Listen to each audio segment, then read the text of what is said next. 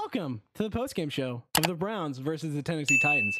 And after first the first half, it's one of those things where I'm coming to you on cloud nine, as it was one of the best halves I've seen in Cleveland Browns history. Until the second half kicked off, when I've seen possibly one of the worst second halves in Cleveland Browns history. Let's start off by talking about our defense. Now, at halftime, I was like, okay, there's not much I can talk about. Sure, our secondary needs to work on. Our defense allowed him to score 28 freaking points in the second half. Absolutely inexcusable to allow wide receivers to get open time after time again. And let me tell you this I, I've said this every single week, but it continues to be the bane of our existence.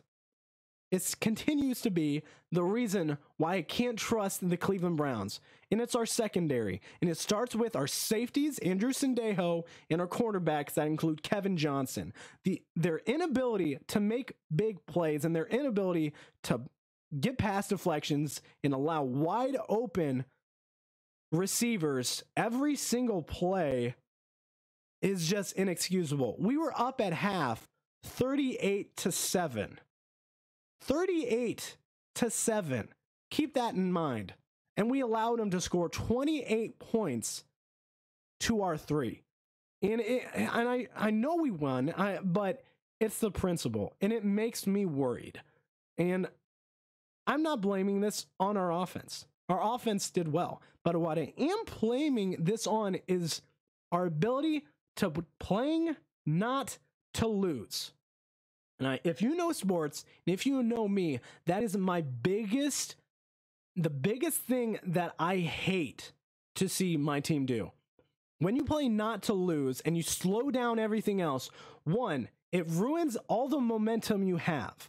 And two, it ruins, it gives the other team energy. So say you run the ball three times up the middle, they get a three and out, force you to kick the, uh, punt the ball.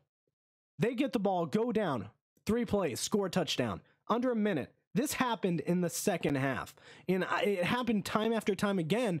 In before I go on all about our team, what I need to say is the officiating in this game was one of the worst I've seen in a while.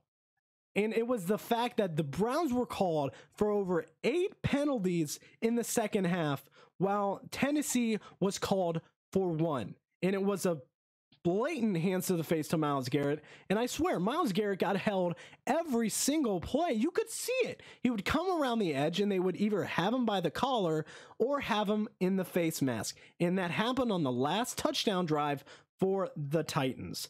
And it was as clear as day, and not a single official threw the flag. And that's what pisses me off the most. It, it happens time after time again. And if the what if I'm Myles Garrett, I'm saying, dude, I'm getting held every play.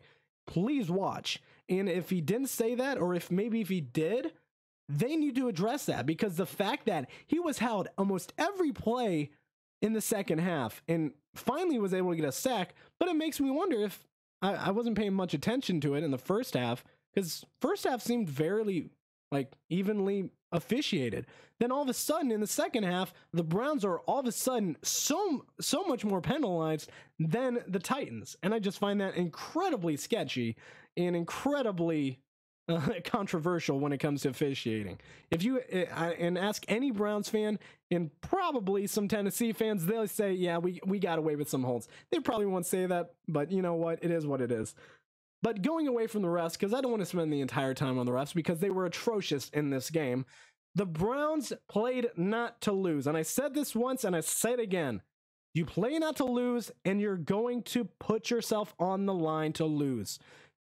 Go what was, I don't get why we went away with what was working in the first half a mix of passing the ball and throwing the ball. Baker Mayfield threw the ball 33 times. I don't know how many times he threw it. Um, he threw the ball 13, what was that?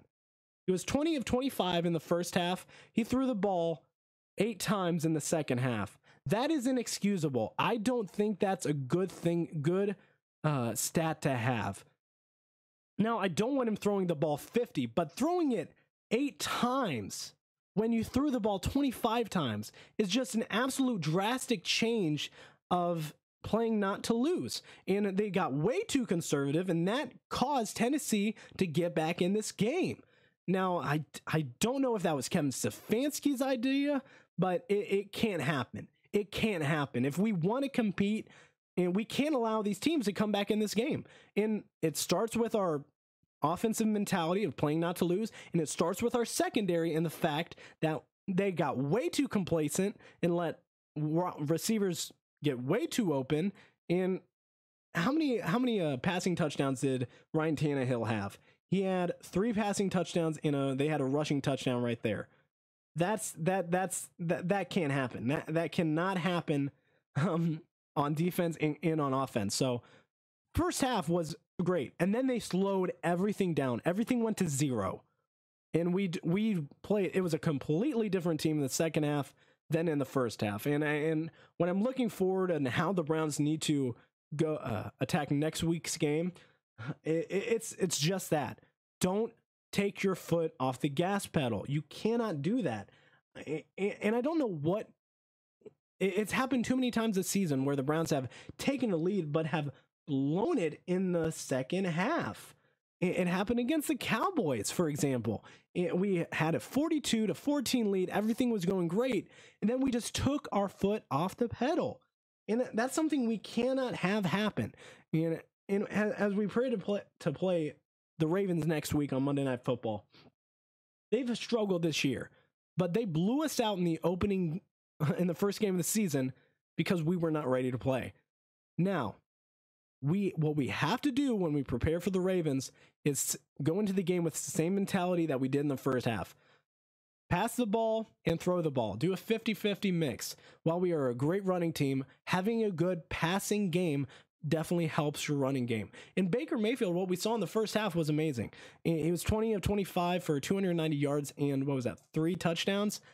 Uh, four touchdowns, uh, excuse me absolutely great start, but it it it, it slowed down when everything uh, when we hit the brakes, and and that you can't have that happen. So looking at the stats, Baker was twenty of uh, tw- twenty five of thirty three for three hundred thirty four yards and four touchdowns, easily his best game of his career in my opinion.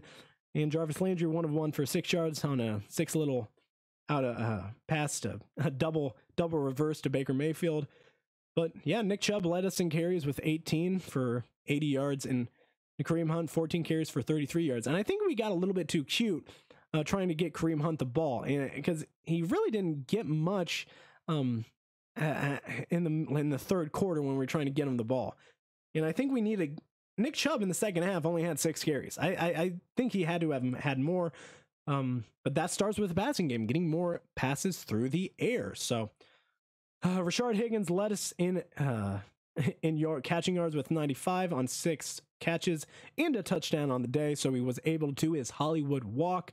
Jarvis Landry led us in touchdown, not touchdown catches, in regular catches with six eh, with eight catches for 62 yards and one touchdown. And then Donovan, Donovan Peoples Jones with a big 75 yard touchdown reception, and also getting a another catch that would get him to 92 yards on the day. So Baker Mayfield really distri- distri- distributed the ball really well, completing to numerous receivers, I believe 10 different receivers on the day. But then we just slowed down, and I don't know why we did that.